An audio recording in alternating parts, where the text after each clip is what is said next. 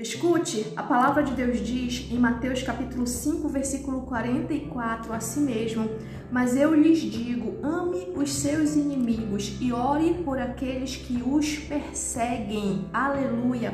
Você já percebe aqui que existem dois tipos de pessoas, os inimigos e os que perseguem. Porque para perseguir não precisa ser inimigo. Muitas vezes os que vão se levantar contra você vão ser os de dentro da tua casa, os que se congregam contigo, os que andam lado a lado com você, porque perseguir não é só querer matar, mas é te invejar, te afrontar, disputar, querer o que é seu.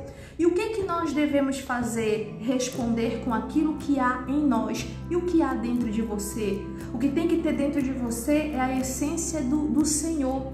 E o que que a palavra direciona para que a gente venha fazer? Amar os nossos inimigos e orar por aqueles que nos perseguem.